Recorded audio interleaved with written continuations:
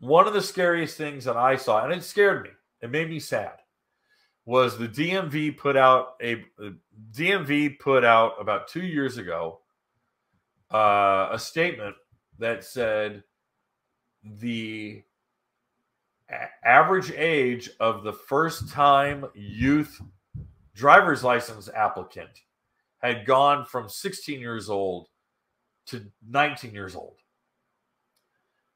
I couldn't wait to get my driver's license. I wanted to lie and and lie about my age just to get my driver's license.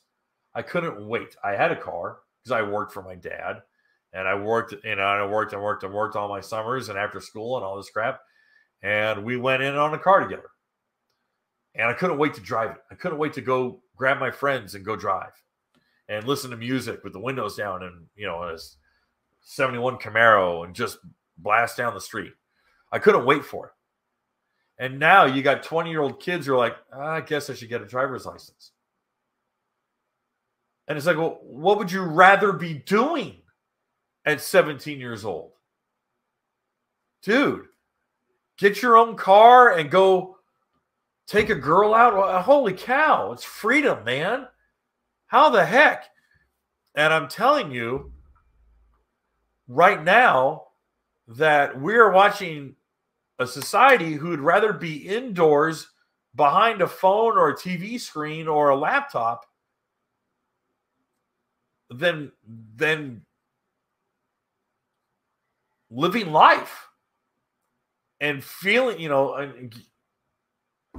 mean i look at the i look at my complaint about the explorer pro. It's life behind screens. You've got a seven inch screen here you got an eight inch screen here you got a big giant windscreen well, that you can't see through if you're wearing polarized sunglasses which is another set of screens so now you are so distracted by just reading the water and feeling the wind on your face and listening to the water blow past you, you're removed from that experience. You're totally removed from that.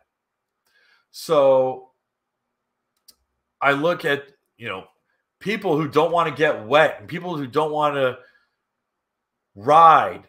They they want to be able to send text messages from their phone and be on this screen and be on that screen and have this satellite and have this GPS and have this windscreen and have leg covers and blah blah blah. I'm like, dude, why why are you riding? Why why are you here? Just go drive your minivan around. I don't understand. I don't understand. It makes no sense to me. Hey guys, thanks for hanging out. This clip was taken from our weekly podcast that we record here every Sunday night at 8 p.m. Eastern Standard Time.